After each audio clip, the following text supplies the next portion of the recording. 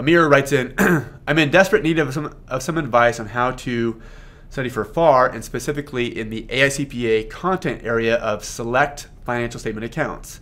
I scored stronger and comparable in all areas except this and simulations. I find that time is my biggest hurdle, and then I'm very thorough and tend to, tend to read in great detail and have a tendency to verify and reread documents and gain assurance that I am answering the questions correctly. Any advice would be appreciated.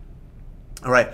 So select financial statement accounts. That's you know that's 30 to 40 percent of your FAR exam, and that's things like cash, receivables, inventory, investments, PP&E, bonds. So pretty important stuff. And there's a whole section of that in the Ninja book. I would read the Ninja book, um, especially over over that or over that topic.